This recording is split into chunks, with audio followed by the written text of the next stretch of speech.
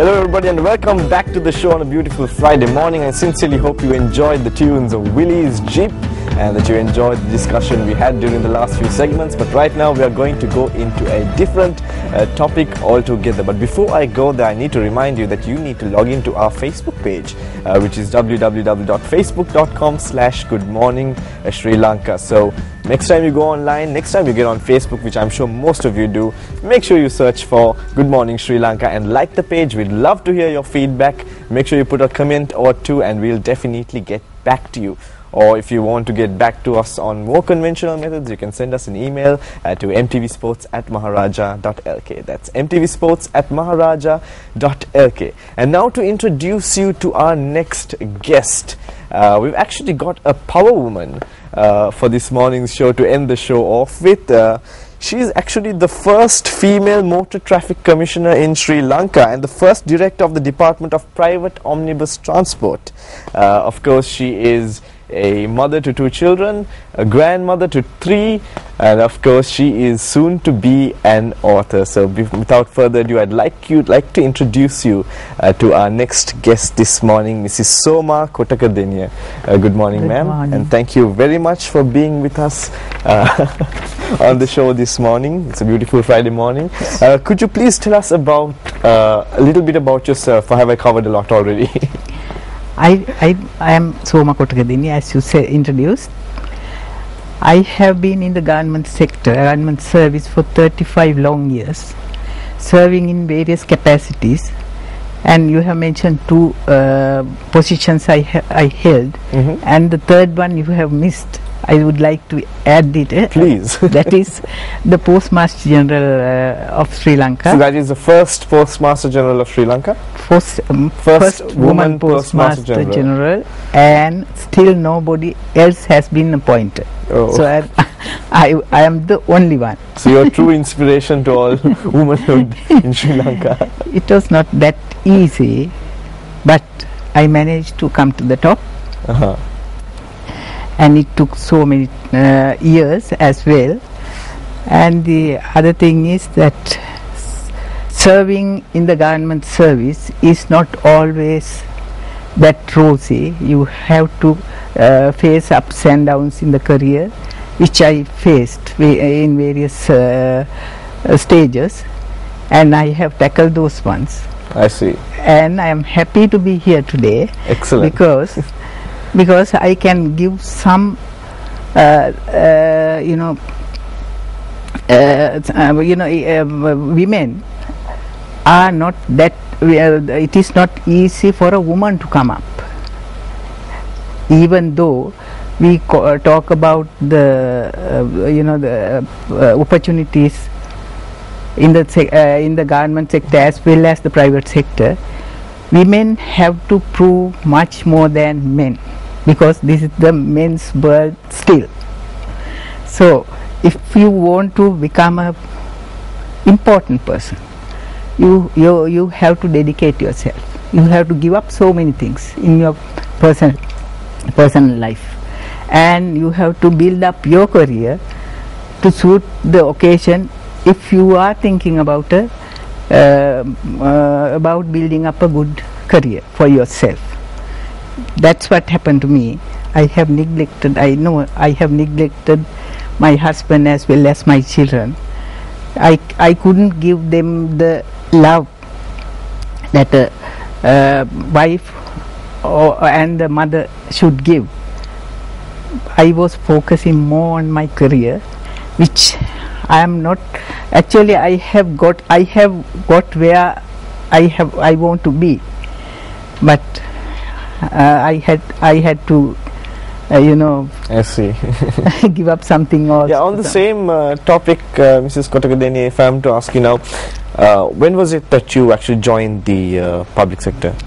I I joined the public sector in 1967. Okay, and at that time, I hear that it was not very easy for women to come up in the public sector because the mentality was more male dominated, You know, especially with yeah. employment. during that time, you know, I have joined the Sri Lanka Administrative Service, which has, uh, you know, replaced the civ- uh, uh, Ceylon Civil Service.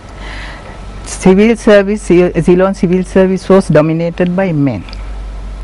In 1965, it was converted to Sri Lanka Administrative Service and women were allowed to uh, get into the service for the first time in 1965. So 1965 they have taken 50 uh, people in and only 5 women were taken uh, as cadets. Then I joined the second uh, batch of uh, uh, administrative service where we uh, 75 people have been taken 17 women that is 20% of women intake was there I see. i was lucky to uh, get into that uh, little number 17 Mhm. and uh, and i was one of uh, the for- fortunate ones. Okay, I have to ask you for uh, such a male dominated environment, what were the challenges that you faced? you know first thing is now i got a job in anuradhapura my first uh, second appointment. That is as the assistant commissioner of marketing development. That is mainly a field job when when the uh, ga of anuradhapura saw me as a young woman his comment first comment was i don't think that you will be you will be able to handle a position like this because you have to go to the field and especially anuradhapura polonnaruwa and uh, trincomalee all three districts were covered by me. So without going to the field you can't collect the vegetables you can't collect uh, all the agricultural stuff or other things. So i had to as the head of that place i had to go to the field. I, I couldn't depend on uh, my subordinates uh, and think that they will do the, uh, the do the correct job. So anyway i faced the challenge. And in i think in few months time i proved myself that i am not a woman.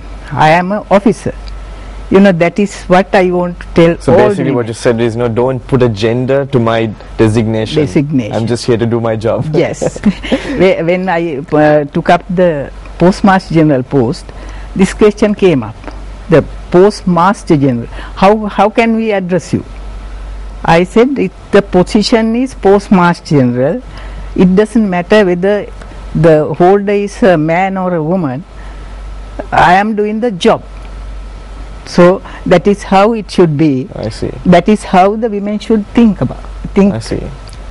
So, um, to I mean, uh, when you said that, okay, when when when you were supposed to go on the field, uh, the first impression the person thought was, uh, you know, because you're a woman, you can't get out there. Would you say the mentality has changed now? Because even when you look at uh, vacancy advertisements, for example, even in the papers today, and every time there is a field job, if it's a sales job, if it's a field job, they always want men. Even today, would you say that's correct? it's not correct it's actually it's depend on the uh, on how women face the situation most of the women they like to act like women and take the privileges Mhm. to up uh, you know up to the maximum but my advice is you know when you accept a job you must forget about the gender. You have to do the job. If you can't do uh, do that job please don't accept it. You know uh, especially private sector i have i have i was working for um, uh, after my retirement i was working for the private sector for a few uh, years. There i found private sector is little reluctant to take them take especially young women because when they go on maternity leave. Now they are i think entitled for three Three months. three months three long months. That is working days. It comes to about four and a half months in actual actual terms. So they take that entire period as well as additional uh, days also. And you know they don't think about the institution they work. They don't they don't think how they uh, you know manage they they are not going to recruit a person for uh, four and a half months so we we ourselves are you know allowing the uh, employers to decide whether you should take a woman or not I see.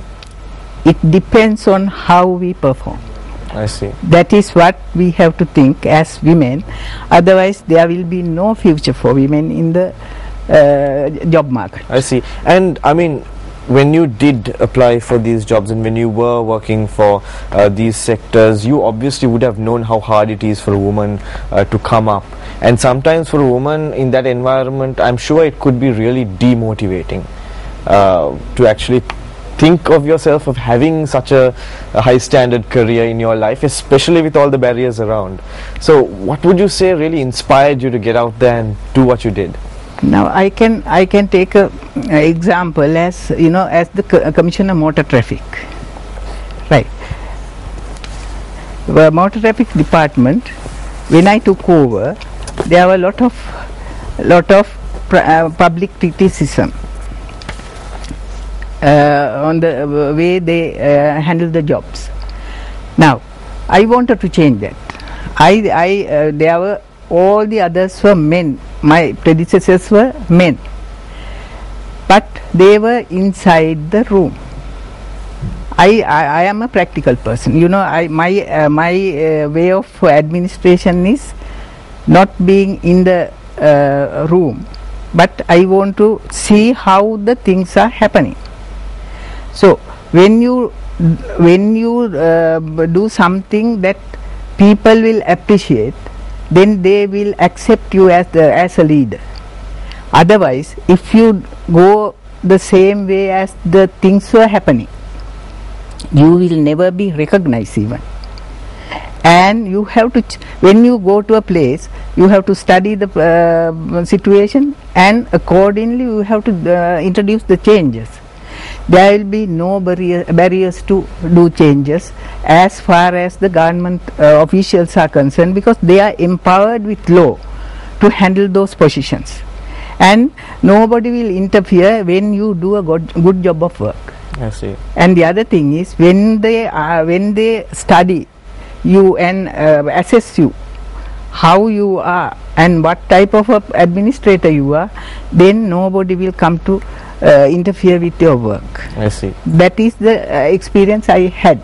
I see. In the public career. I see. And in this over 30 year career, um, I'm sure, of course.